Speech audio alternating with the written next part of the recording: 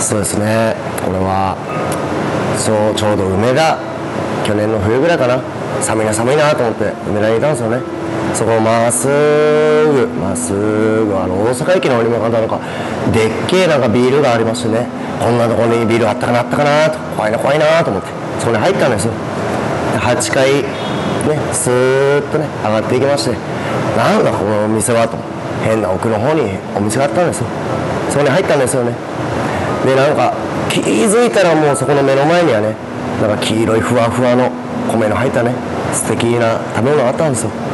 なんだろうななんだろうなと思ってねスプーンをこうサクッと入れたんですよね。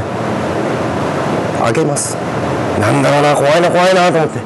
そこであのこんなポン酢の入ったね容器があるのかな。これなんだろうなんだろうなと思って。つけちゃおうと思って。つけたんですよ。合うのかなと。合わねえだろうなと思って。食べたんですよね。合うんです。ポン酢とご飯卵合うんです。でそのままうまいなうまいなと。これって美味しいな美味しいなと。食べる気がつくとそのお皿には何もなかったんです。その場所ヨドバシカメラ8階ホムの木和風オムライス714円。